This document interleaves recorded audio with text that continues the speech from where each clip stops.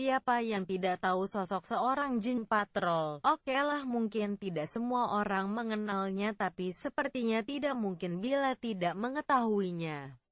Jeng Patrol adalah penyiar cantik yang muncul di acara berita kriminal patroli di Indosiar, dengan gayanya yang centil dan cerewet.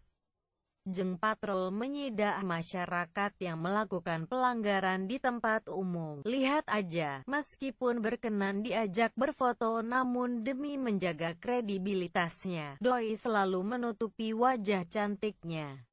Satu hal yang unik adalah Jeng Patrol ini selalu membelakangi kamera, hanya nampak punggung saja dan rambutnya yang hitam panjang berkilau tanpa terlihat wajahnya. Sampai saat ini sosoknya masih sebuah misteri, belum ada yang tahu siapa dia sebenarnya. Secara fisik Jeng Patrol memiliki body bahenol yang sering memakai dress ketat yang menunjukkan lekuk tubuhnya. Meski memiliki dada yang gak begitu besar tapi Doi diberi anugerah bokong yang lumayan mantap tidak lupa sepatu hak tinggi selalu mendukung penampilannya. Jeng Pat selalu memakai kacamata hitam untuk menyamarkan wajahnya tapi satu hal yang pasti hidung Jeng Patrol tidak begitu mancung dan punya tahi lalat kecil di kanan atas bibir seksinya. Oke kita mulai investigasi mencari tahu siapa Jeng Patrol. Jika orang bertanya apa alasan Jeng Patrol tidak terlihat mukanya, jelas ini adalah branding Jeng Pat itu sendiri. Terbukti banyak orang yang ingin tahu siapa dia dan seperti apa wajahnya. Lihat saja tweet penasaran para netizen di @jengpatrol.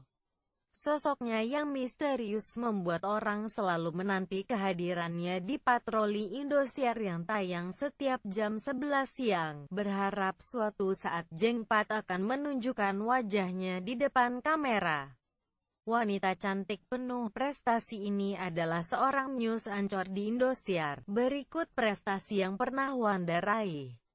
Dia juga pernah bermain di film televisi berjudul Ada Cinta di Hati bersama dengan finalis Claire Hair model lainnya di Instagram.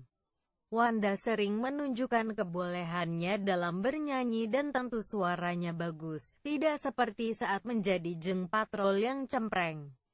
Berikut foto dari Wanda saat menjalankan tugas sebagai pembawa berita. Foto lain cek sosial medianya saja. Wanda Dwi Utari dan Jeng Patrol adalah satu.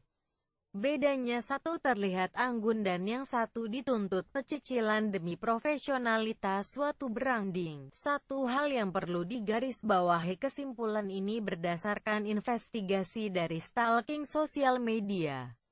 Terlepas dari benar tidaknya, hanya waktu yang bisa menjawab. Kita tunggu saja konfirmasi dari pihak patroli Indosiar. Siapa identitas Jeng Patrol sebenarnya?